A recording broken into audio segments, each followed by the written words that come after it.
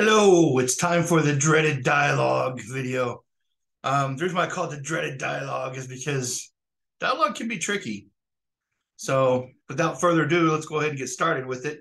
Um, the first thing I want to talk about with dialogue has to do with perception. It has to do with your creation of personality in your characters. This is very important when you are trying to get certain things across because let's face it, uh, on the written word in two two dimensions, you don't have a lot of inflection. You can't tell when someone is being sarcastic or not with just words. Most of the time, you can if you have. I'll get to that here in a minute. We're going to talk about that. I'm going to get I have a little visual. I'm going to show you. and We're going to talk about that. Uh, the first thing I want to talk about is there goes my phone. Sorry about that. Uh, the first thing I want to talk about is uh, per- personality creation. If you've done your job right in creating the characters, and uh, I'm going to put in the description today. I'm going to put uh, a character sheet that uh, I can't remember where I got it from. I hope I don't think it's copyrighted or anything, so I hope not. Anyway, I didn't create it, but um, uh, I think I put pieces of it together from here and there, and it's a pretty comprehensive character sheet that will allow you to put things like eye color. Um, it even has things like um, parents and if they're alive or dead you know, if you're writing fantasy, pretty much, uh, I think the most dangerous genre for parents to be in is fantasy because almost every fantasy character, the parents are, for example, uh, Harry Potter parents, uh, Ursula and Anna from uh, Frozen, Lost at Sea. Um, let's see, uh, who else? We've got, um, well, um, Percy Jackson, his parents are alive, but one of them's a god. So, you know, that kind of uh, it's okay there. But um, let's see, we got Frodo from Lord of the Rings. His parents are gone. For some reason, lives with Bilbo. You know, the, the, it's endless. I think. I think in fantasy, um, you don't want to be a parent to fantasy. Aragorn. that's another one. Uh, lives with his uncle. Uh, King Arthur. King Arthur, his parents were weird, so you know uh, Merlin's kind of set that up, and they weren't really married or anything, so uh, he had to live with his uncle Kay. But anyway, you know the list goes on fantasy is like uh, the worst place to be a parent because I guess it's like parents would probably say, you know, like they're like, I'm going to go on an adventure, and and the the parent would be like, No, you're not. You're going to clean your room, you know, or something, and it'd be hard for that person to go out on adventures. You know, uh, I guess with parents always saying like, No, you're not. You're not going on an adventure. But anyway, I'm sorry, I'm I'm off on a tangent here.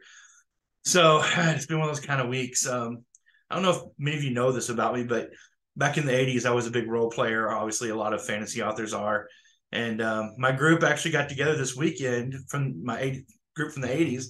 Uh, we're a heck of a lot older, and we had a really hard time seeing the, the tiny writing on our character sheets. But uh, we have decided we're going to make big, you know, 50, 50 plus level, 50 plus um, age character sheets for our next um, get together. But we uh, other than that you know and looking through our bifocals and stuff. Other than that we had a great time. It was uh it was it was fun to role play again with you know pen and paper. We've we've gotten together off and on with on computers on saturday but it was kind of cool to do that. Anyway back to dialogue. All right so i'm going to put up a visual here. Let me share the screen.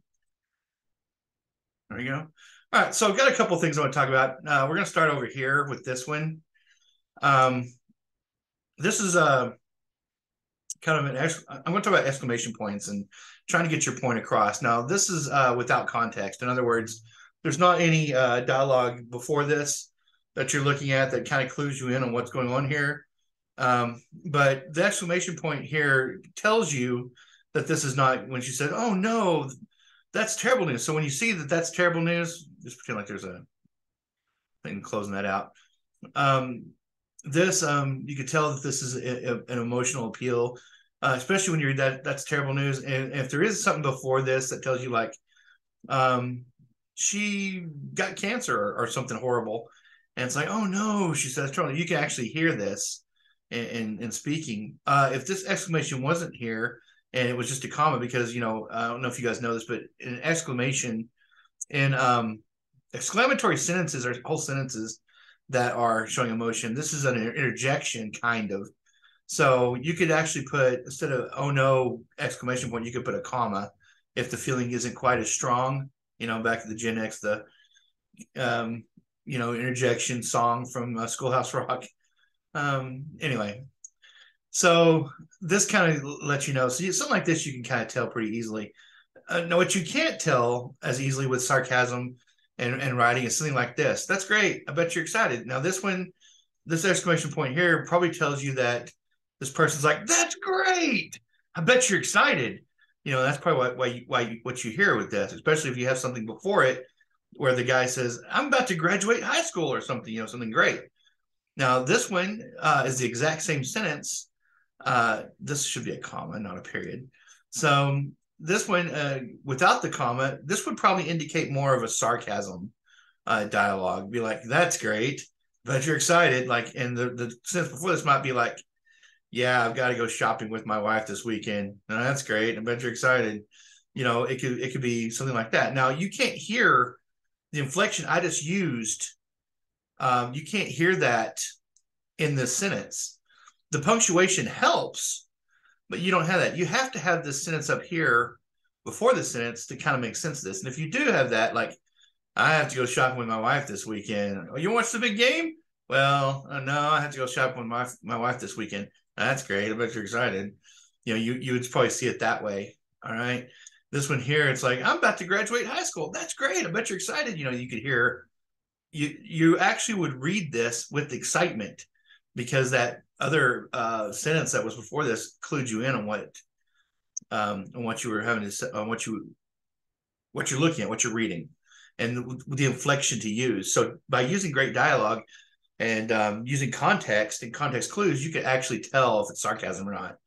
Same thing with this. Um, great, another one I deal with. This you could uh, you really don't need the uh, exclamation point here, but you, you kind of know when it's a comma, it probably is, you know, sarcasm. Because uh, if you read the sentence and here's the exclamation point at the end, uh, so it's kind of cluing you in that, you know, this is person saying, great, another one I have to deal with. You know, you could probably tell it's like that. Rather than if it was an exclamation point here, be like, great, another one I have to deal with. You know, uh, this this whole sentence here does not lend well to excitement anyway. So when I was just saying that, great, another one I have to deal with, you know, that automatically, the way it's written here, automatically tells you it's probably sarcasm anyway, because no one no one says that energetically, right? All right. Um, so that's some things with with using sarcasm and showing inflection in your writing where you don't have, you know, unless it's uh, being produced with Findaway Voices or ACX, where you're actually uh, doing an audiobook where the person's actually inflection actually has inflection, you would have to get this from context clues in the writing, and that's there's ways like I just showed you. There's ways to do that with the uh, personality and the way that the sentences are written that would clue the reader in to which one you're trying to do. One of the one of your best tools for that is that exclamation point. The exclamation point can be the difference between you know if it was like oh no she said that's terrible news. That would probably come across sarcastic if you didn't have this exclamation point there, would it? Wouldn't it? You would. You probably wouldn't think the feeling is as strong. If, uh, if it was terrible news, if someone said, "I have cancer," oh no, she said, that's terrible news. She's not really feeling terrible about it. If this is not an exclamation point, right? You can kind of get that uh, that sense of it. And we we do this without even thinking. It's kind of like when you when you play an instrument. You know, I've told people, if you've watched this channel before, I play the bass guitar and I played trombone since I was in fourth grade all the way through high school. Um, so I learned bass clef instrument. That's why I went to bass guitar, bass clef. Uh, anyway, when I first started learning how to read music, I looked at every position that the the like an F was first position, you know, about medium aperture with your with your uh, pucker of your mouth on your mouthpiece, and then B flat was probably like I can't remember. It's like seventh position, I think. Um, D is like fourth, and C is like third position. I can still remember all these because you know years and years.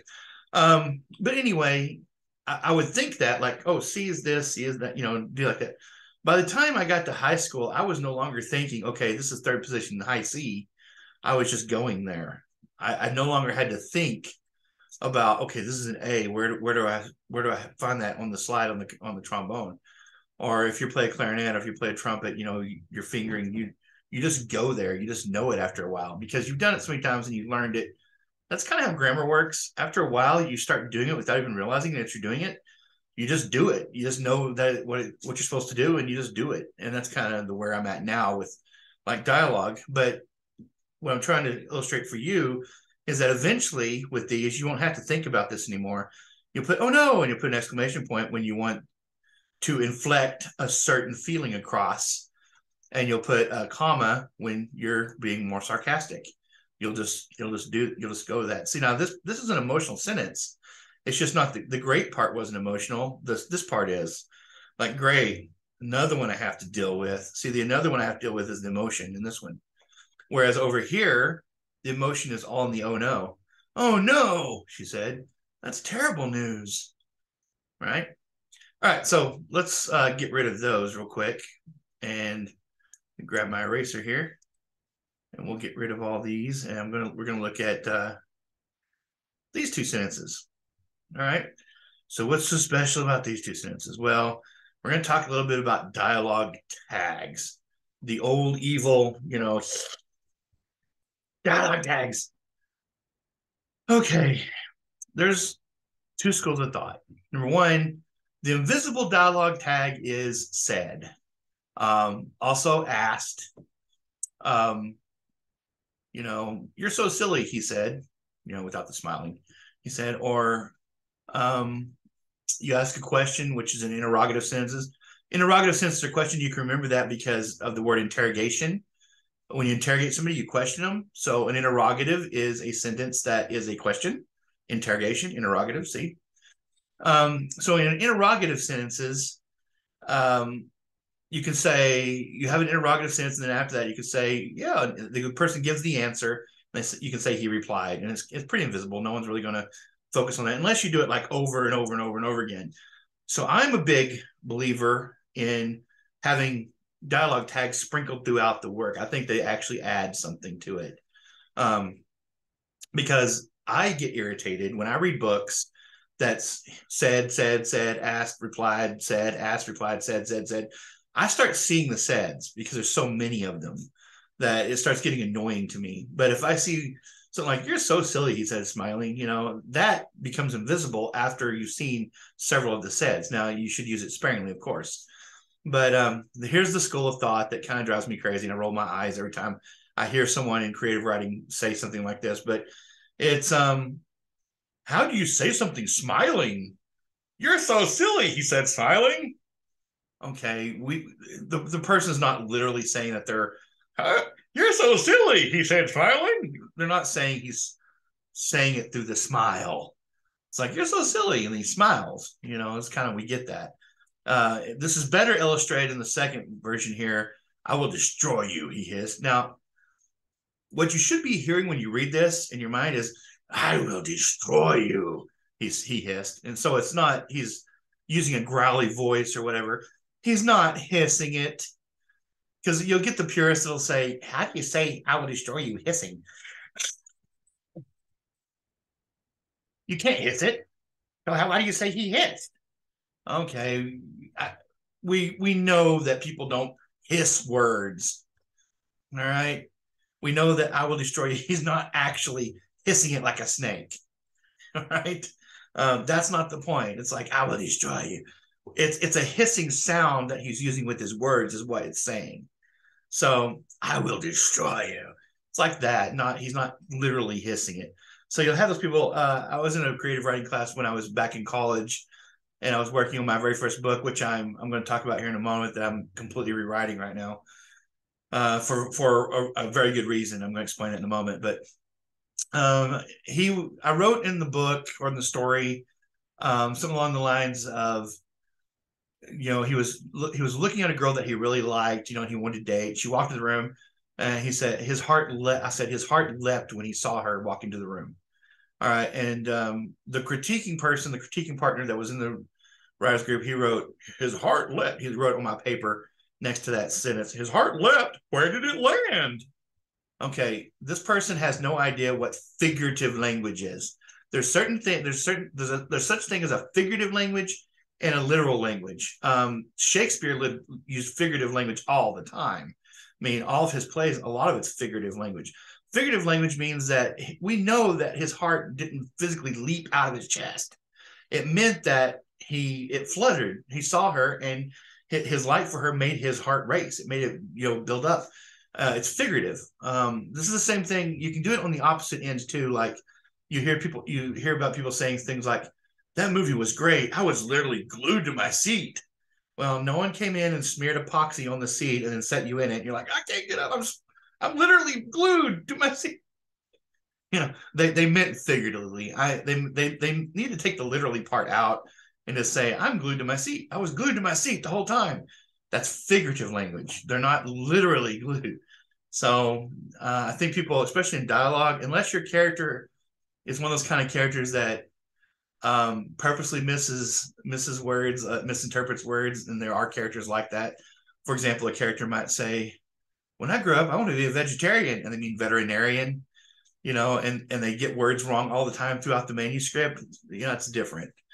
Okay, but um, there's some words that you should you should not say literally something unless it is literal, unless people unless your character actually does that. There are people out there in dialogue that will do that and they'll say, I was literally glued to my seat. And you know, smart Alex like me who who uh, know can't resist, I'd probably say, You were literally glued to your seat? Someone came in and glued it, glued you down? And then they look at me like, What? So um, I learned really early on when I became an English teacher not to really correct people too much like that. That I really can't let go. I've got to joke with them, but I learned really early on not to correct people because um, when you make a mistake, like you get up and say, I can't go to work today. I don't feel very good. And people are like, oh, you said good. It should be well. You made a mistake. You made a mistake.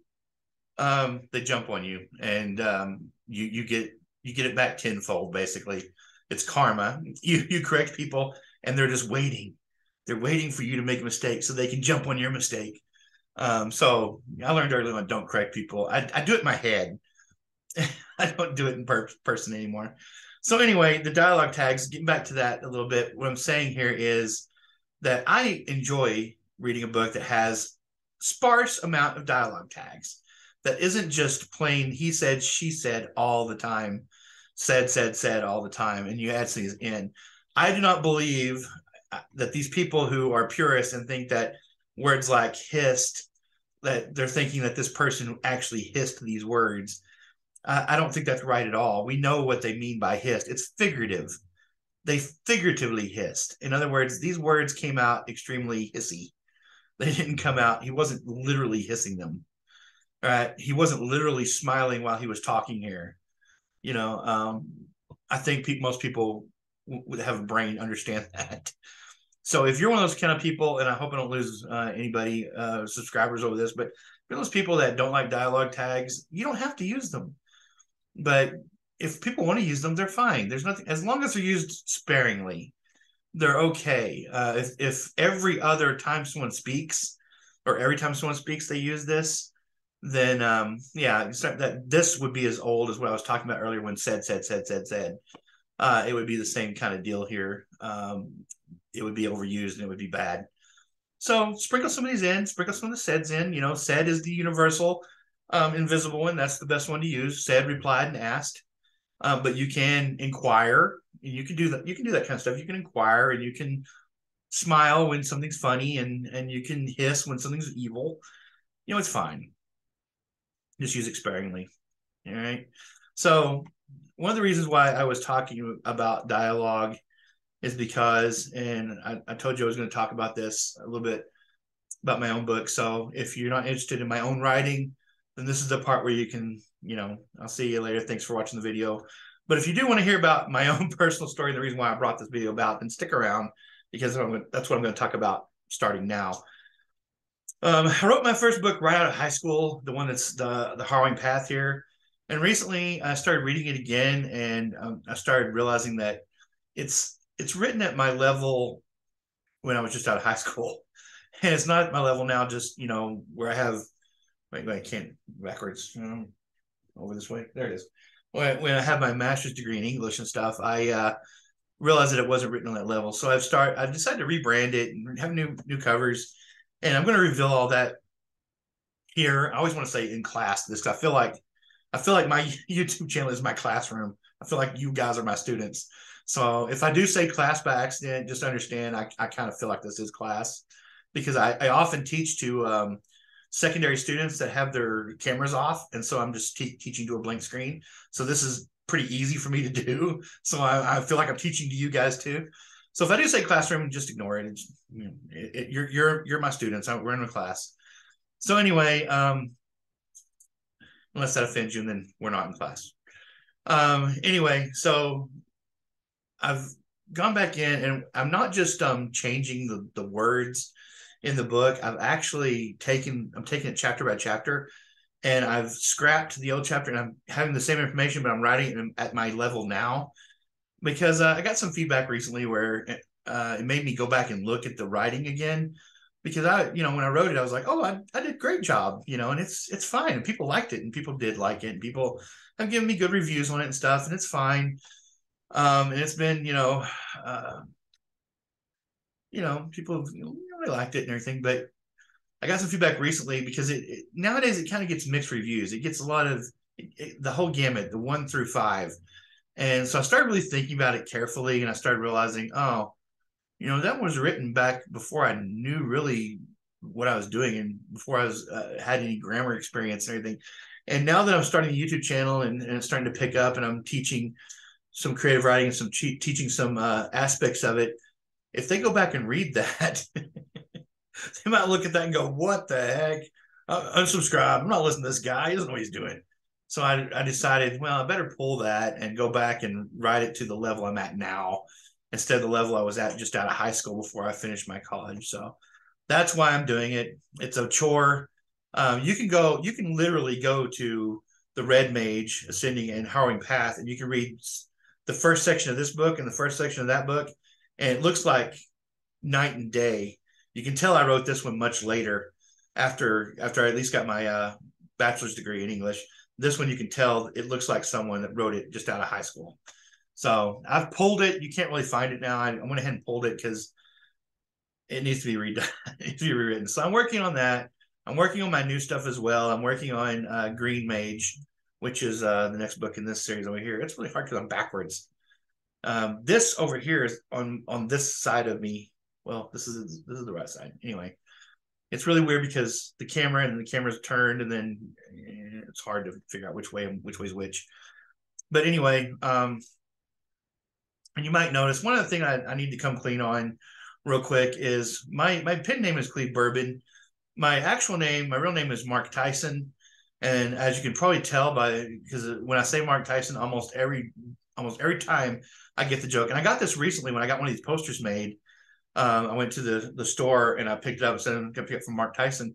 And there's a guy next to me goes, Your name is Mike Tyson? And I was like, Well, pretty close. It's Mark Tyson and he's like, "Oh, you're like the boxer," and like, yeah, yeah, I like the boxer. I hear that a lot.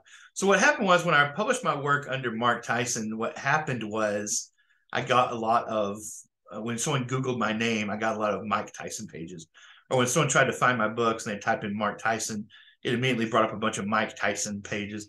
Nothing against Mike Tyson; he's fine. He's just more famous than I am. So because of that, uh, he's he trumps me in um, in Google searches and stuff. So I chose Cleave Bourbon, even though it's a weird name. Bourbon is an actual um, surname for people, by the way. It's not just whiskey. But I chose that name because number one, it's higher on the alphabet than Tyson, way way higher.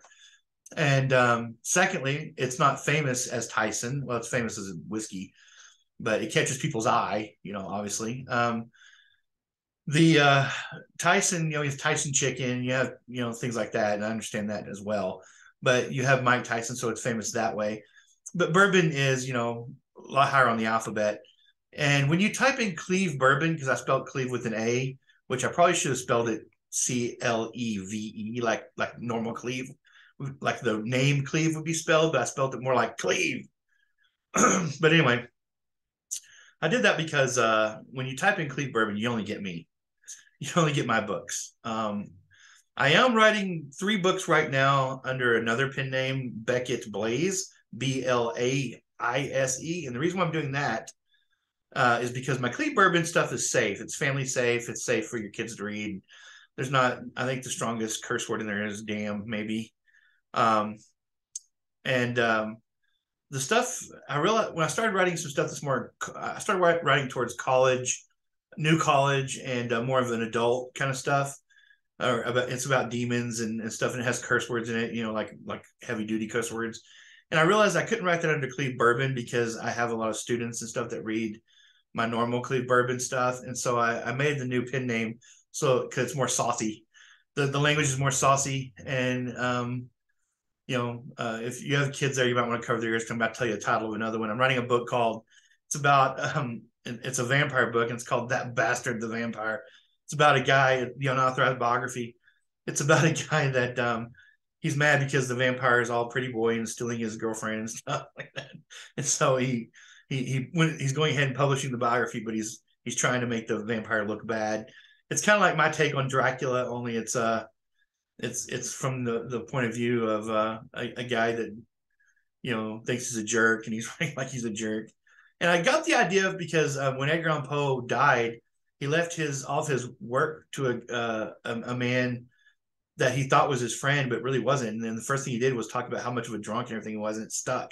So everybody thinks that Edgar Allan Poe was this big, huge drunk, and he was really a guy that couldn't handle his, his liquor, and he start, didn't start drinking until after his wife died. But um, anyway, um, that's another story for another time. But anyway, so that's it. Um, for the most part with that, and that's why I just wanted to kind of in this video, I wanted to kind of come clean that uh, if you see some time down here in the corner, my name might be over here, over here.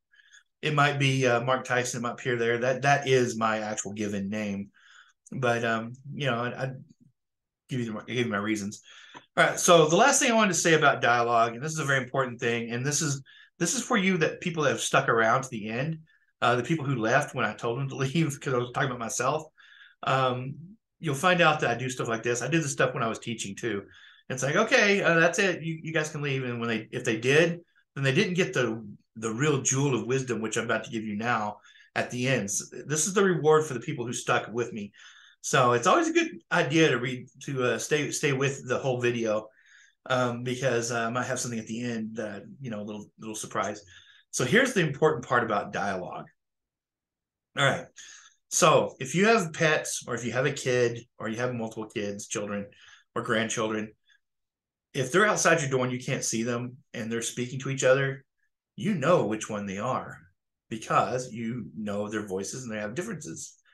If um if they're not speaking at all and one of them walks out of the room, slams the door, and stomps down the hall, you're like, oh, that's got to be so and so because that's the person that would do that because you know their personality. If you have pets, then you have two dogs and there's one dog, or, or you have two cats. In my case, I have two cats and when I'm sitting at my door and they're meowing, I know which cat it is because I know their voice. But if uh, someone comes up and starts scratching at my door, I know which cat that is because that's that cat's personality. All right. So when I write, I started realizing that from my cats. So when I write, I started realizing that if I make my personality strong enough in my book, sometimes I don't have to have any dialogue tags because the way the character is acting clues in the reader on which character that is. If it's a character that's very stubborn, and I've really went out of my way to, to say this character is stubborn, and um, I have something that where the stuff the stubbornness is coming across without you know without dialogue or something, and without saying who it is, you could probably tell who it is. Now I still I still give dialogue tags. I still you know do the conventions of writing so that you know exactly who's speaking. However, technically, uh, and a lot of stuff, and if you look at my later writing, technically you could you could probably remove the dialogue tags and still figure out who's talking because I'm going by personality by building my characters. Um, I'm a very strong um, I have a very strong conviction, or what's the word I'm trying to say here? I have a very, I'm a big believer. That's it. A big believer in characterization and character development and creating characters, and that's another reason why I'm rewriting the the story that's in the harrowing path up here because a lot of that stuff I failed to do at the back in the day when I was you know a lot younger that I'm doing now. So that's the trick. If you can write compelling characters, if you can really develop your characters very well and use that character sheet, I'm going to put down for you guys in the uh, in in the description, then you almost don't need dialogue tags, and you don't have to use as many of the um, he said smiling, he hissed, and things like that because it's it's going to come across because that's the way you've written the character. So if you want more of, of that, I can talk about character. I'll talk about that more when I start doing a video on characterization, which is upcoming in the future. When I start doing uh, how to develop your characters and characterization, we'll we'll talk in more detail about um, them speaking. You can also do it. There's another way of doing it as well to illustrate the personality. You can actually have them speak differently. Um, you can use subtle clues, like maybe maybe this character doesn't use contractions. Instead of saying I can't do that, he says I cannot do that, and that also clues the reader in. Okay, this is that person talking. This is the robot talking, or whatever. Or maybe uh, they use a word a lot, like um, ye or something. Like that character says ye a lot. Well, whenever someone says ye, you know it's going to be that character. So there's ways to identify that character like that through characterization that will help you with your dialogue tags and it will help you with dialogue. So, and um, one last thing, the reason why I came up with that is because the very, very first little novella I wrote, someone told me some of the feedback, and it was more than one person. I always usually go in threes. If three person says it, it's probably true. So I think I got like three different feedback, and they were talking about, well, I can't tell between your characters, I can't tell which is which because they all seem the same. So that made me think, oh, well, that's wrong. I should make them all different because if they're all the same, then you can't tell. If there's three girls and you can't tell the difference between those three girls, I'm doing my job wrong. Uh, you need to be able to tell which one's which by the way they're acting, the way they're speaking, and all that stuff. So anyway, uh, I'll talk more about that when we get to characterization, but that's that goes hand in hand with the dialogue. So anyway, uh, before this video becomes super long, which it probably already is, and um, I end up rambling more. I will let you guys go, and uh, I will see you in the next video. Uh, it's going to be about verbs, I believe. So thank you, and uh, thanks for sticking around, and I will see you later. Thanks.